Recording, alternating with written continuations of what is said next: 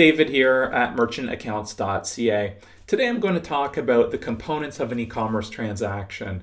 When we work with some of our smaller clients, they're often very overwhelmed, especially in, if they're in the early stage of researching, you know, how to put together an e-commerce website. So what I do is I usually explain e-commerce is really just made of three things, three different components.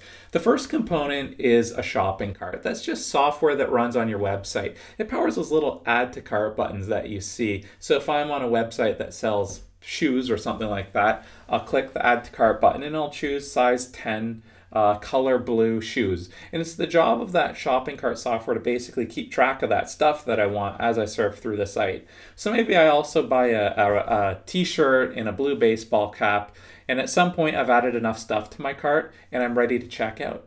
So when I click the checkout button, the shopping cart software has a, has a couple jobs to do.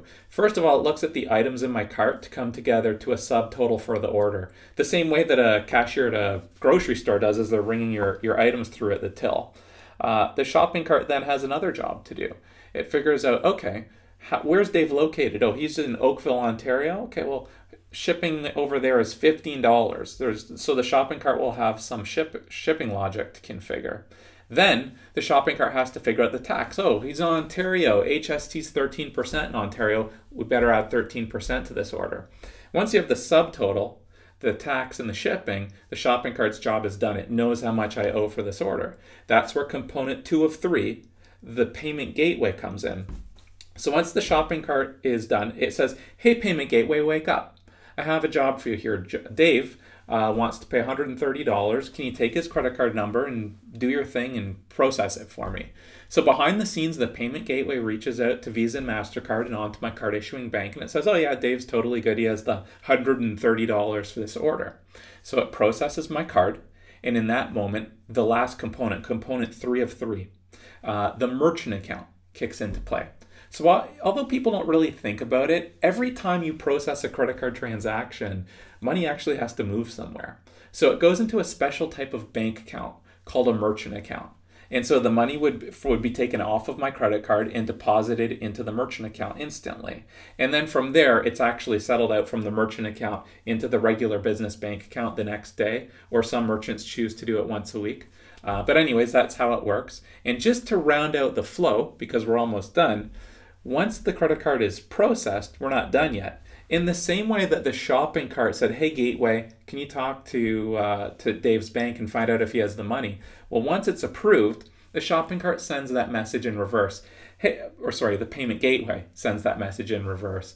Hey, shopping cart, do you remember the order for, for Dave a second ago? We approved it. So now you can know it's approved and you can send out your order notification email. So the shopping cart sends out the order notification to the merchant it will send out a receipt to the shopper. And as an example, I used the, the example a second ago of an online clothing store. Well, maybe that clothing store has an inventory that it keeps track of. So once the shopping cart gets the order approved message back from the gateway, it can go, okay, well, it sold a pair of blue shoes size 10, so we'll take one of those out of the inventory. We have eight of those left in stock now, and stuff like that. So, shopping cart, payment gateway, merchant account are the three components of an e-commerce transaction. I don't want to go too in detail in this particular uh, video, but so that you know in general, it's it's better to get approved for your merchant account before you select your shopping cart software, and there's a reason. When you want to get shopping cart software, you buy it or you pay for it. Period. There's not really a lot, uh, there's no application process to it.